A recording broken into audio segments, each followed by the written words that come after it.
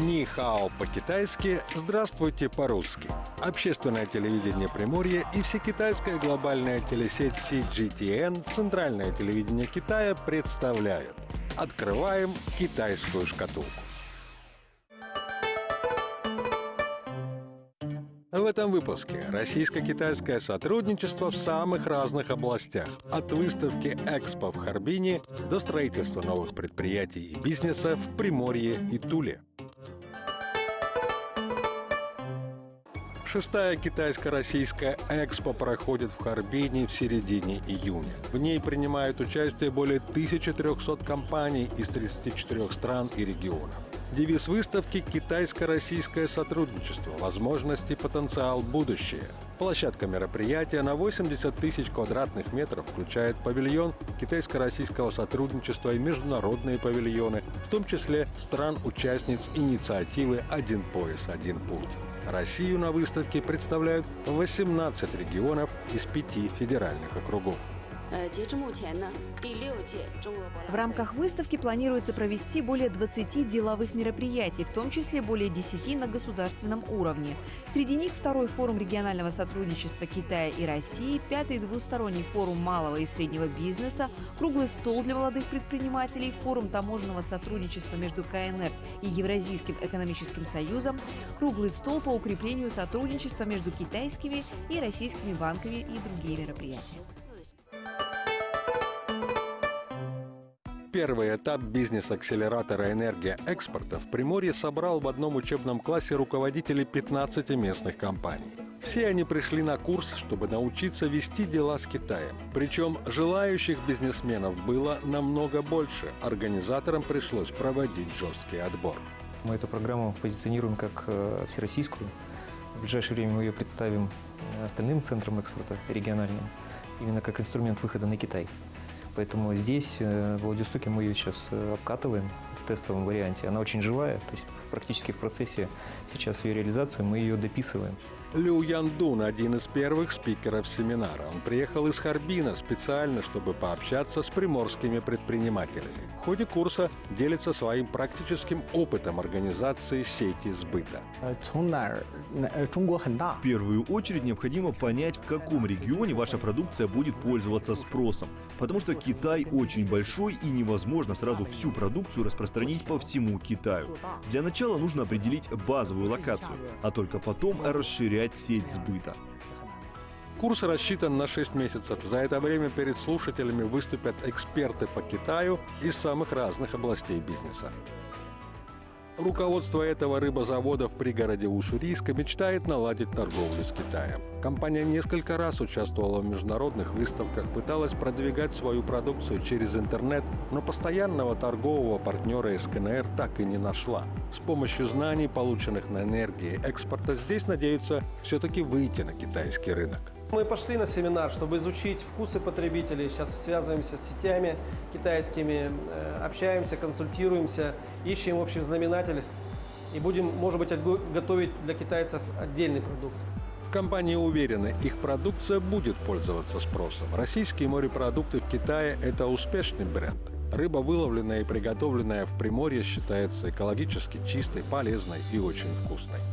Чтобы удовлетворить спрос китайских партнеров, на заводе готовы разработать специальную рецептуру, упаковку, увеличить объемы производства. А о других тонкостях ведения бизнеса с Востоком планируют узнать на семинаре. Следующий блок энергии экспорта начнется уже в сентябре.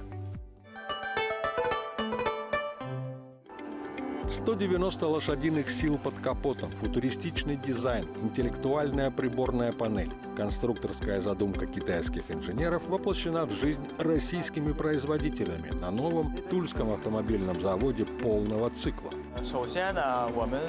Это самый масштабный проект среди китайских компаний, связанный с автомобилестроением. Мы выбрали Тульскую область, потому что она расположена близко к Москве и крупному транспортному узлу. Кроме того, местное правительство предоставило нам налоговые льготы. Церемония открытия идет по соседству с цехом, где завершается сборка автомобиля. Финальный этап. Двигатель встречается с укомплектованным кузовом. Эту церемонию бригадиры в шутку называют свадьбой. Прежде чем начать жить долго и счастливо, детали проходят этап притирки, штамповки, сварки и покраски. Основную нагрузку берут на себя роботы, их здесь более 30. Люди присоединяются, когда нужен тонкий подход по установке зеркал, декоративных элементов, уплотнителей. Проверяем визуально и тактильно на качество, то есть чтобы не было хода никакого, чтобы уплотнитель плотно сидел на посадочном месте и производим дальше сборку. Раньше Анна трудилась на фабрике печенья. Опыт кондитера сейчас помогает ей быть внимательной к деталям и строго соблюдать заявленную производителем рецептуру. Всему остальному обучалась с нуля, как и большинство коллег по цеху. Компания набирала людей из России с хорошим инженерным образованием и направляла их в Китай на трех- или шестимесячные курсы. Затем персонал прошел практику непосредственно на заводе, где они включались в полный цикл работ под руководством старших товарищей.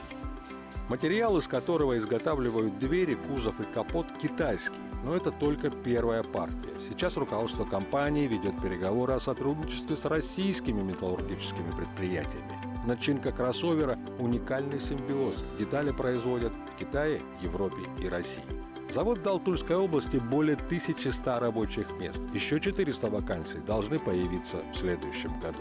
Для нас это действительно серьезнейший шаг вперед в укреплении экономического потенциала нашего края. И самое главное, что та большая программа локализации, которая будет развиваться, это и создание производства двигателей, многих элементов компонентная база. Такого в России еще нет, поэтому для нас этот проект – это гордость. В 52 дилерских центрах по всей Европе уже продают китайский кроссовер. 150 тысяч произведенных в Туле машин – это не предел. На экономическом форуме в Санкт-Петербурге был подписан контракт о строительстве второй очереди завода. Инвестиции составят 20 миллиардов рублей. Китайцы пьют чай тысячелетиями. В последнее время эти чайники ручной работы набирают популярность в стране. Как гласит старая поговорка, вещь особенно ценится, если она редкая. Гао Дэджи 99 лет. Чайники из пурпурной глины он начал делать в 13. Этот вид гончарного ремесла обычно передается из поколения в поколение или переподается тем, кто искренне увлекается этим делом. Но Гао говорит, что сейчас очень трудно найти таких людей. Мой сын и дочь не интересуются тем, как делать чайники. Они получают большие деньги, работая в финансовом секторе. Люди не могут создавать какие-либо вещи, если они не заинтересованы в приобретении навыков. Чтобы продвигать и защищать ремесло, которому грозит исчезновение, местные власти построили специальный музей, где мастера могут демонстрировать свои навыки. Здесь, в Исине, в провинции Цзянсу, на родине пурпурного чайника, 29-летний У Джитян привлекает с помощью интернета в свой магазин поклонников этой посуды. И здесь же они могут самостоятельно научиться делать чайники из пурпурной глины. Я всегда публикую фотографии, описания и видео в интернете, делясь своими знаниями и опытом с другими. Также я часто приглашаю своих подписчиков в мой магазин, чтобы они могли получить непосредственный опыт и гончарные навыки. Имея тысячи подписчиков на различных онлайн-платформах, Уджи Цян считает, что сейчас многие молодые клиенты предпочитают новые формы чайников. Например, свинка Пеппа сейчас очень популярна. Я видел, как кто-то вырезал эту мультяшку на чайнике. Молодым покупателям нравятся более индивидуальные чайники с современными элементами. В Исине тысячи частных магазинов с такими чайниками. У говорит, что не беспокоится из-за угрозы исчезновения этого традиционного ремесла. Напротив, его популярность растет. Ключ к развитию старинного гончарного дела, по мнению мастера, в использовании современных элементов при изготовлении знаменитых пурпурных чайников.